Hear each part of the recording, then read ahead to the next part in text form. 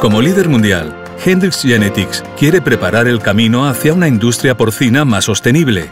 Establecer criterios sobre sostenibilidad económica, social y medioambiental es más importante que nunca. La economía es la piedra angular de un sector sólido y un factor que impulsa cada una de las fases de producción. El progreso genético de nuestras cerdas, lechones, cerdos de engorde y carne hípor genera beneficios económicos para toda la cadena porcina.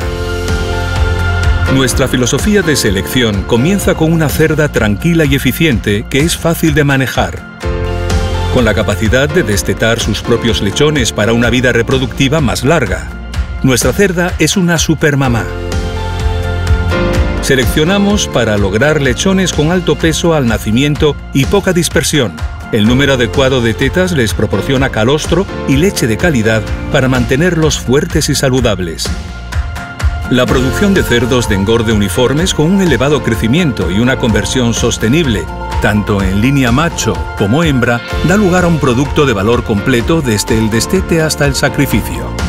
Nuestro objetivo es lograr los mejores resultados a través de excelentes características de canal, alto rendimiento, bajas pérdidas por goteo, el nivel adecuado de grasa dorsal, profundidad de lomo y carne con el color y marmoleo deseados. Al mismo tiempo, establecemos nuevos estándares de sostenibilidad social mediante la selección de animales autosuficientes que prosperan en todos los entornos.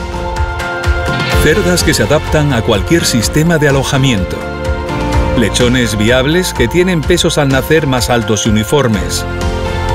Además de eso, investigamos la eliminación de tratamientos como castración, corte de la cola y antibióticos preventivos. Al final, carne de cerdo deliciosa y nutritiva es nuestra promesa para el consumidor.